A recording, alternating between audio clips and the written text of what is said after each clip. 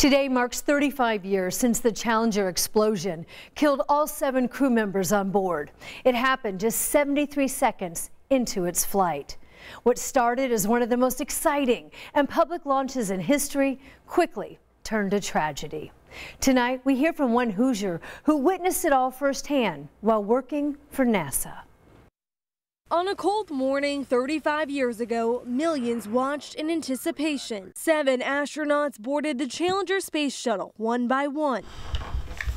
Yeah, at the time, Carmel resident Andy Klotz was working as a programmer at Kennedy Space Center. And if you weren't critical for the mission, you were allowed to go outside and observe it, and you could bring your camera with. Three, two, one.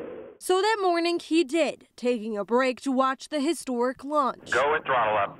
But 73 seconds into flight, everything changed. When that fire got to it, conflagration, and it was, everything was what you see there. In that big picture there, you see the fireball and, and all of that. For a few seconds, there was hope that the emergency system would kick in. It didn't take very much longer than the 10 seconds or 15 seconds for the realization to settle in that this the orbiter isn't coming back. Klotz watched the whole tragedy unfold through his lens, snapping a photo almost every five seconds. Nice, to this day, he still has the prints. And it's a tragedy that has given us lessons for today. I mean, accidents happen and and tragedy can be significant, but um,